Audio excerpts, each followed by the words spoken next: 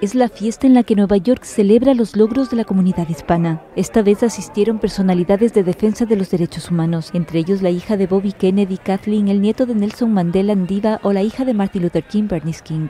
A ellos se sumaron personalidades latinoamericanas como la Premio Nobel de la Paz Rigoberta Menchú y el cantante venezolano Carlos Baute, y españolas como la modelo Nieves Álvarez, el presentador de televisión Jesús Calleja o el humorista Carlos Latre. Kathleen, sobrina del célebre expresidente estadounidense John F. Kennedy, nombrada Mujer del Año en la gala, reconoció que el mundo está en un momento difícil pero también mágico, por lo que hay que luchar por la verdad, dijo. Mientras que el nieto del Nobel de la Paz, Nelson Mandela, calificó de vergonzoso el trato de la administración Trump a la comunidad latina.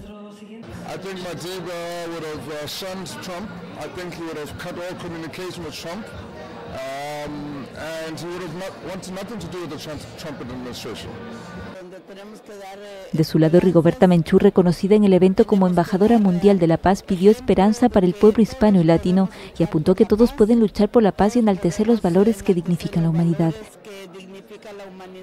Y el cantante Carlos Baute, galardonado como mejor artista latino, mostró su apoyo a los inmigrantes latinos en Estados Unidos. Y claro, al pasar lo que está pasando es difícil, complicado para ellos porque al final vienes aquí a buscarte la vida, a trabajar. No, no vienen de manera ilegal, pero, te hacen sentir ilegal, ¿no? La gala contó con las actuaciones musicales de Baute y la cantante y compositora Erimante, entre otros.